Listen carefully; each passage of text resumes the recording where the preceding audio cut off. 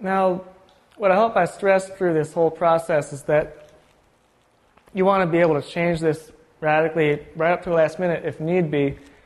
Um, and the shoulders were a great example of that in practice because um, last week when I was laying down the drawing, I just um, didn't put them down properly. And that was something I knew I would refine later. Now, the marks going in here into the face.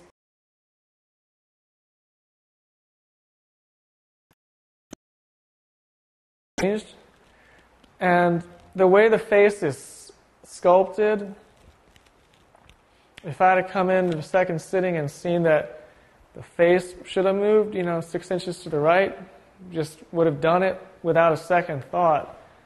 And um, you can lay down scumbling in one area just as well as another and bring it out.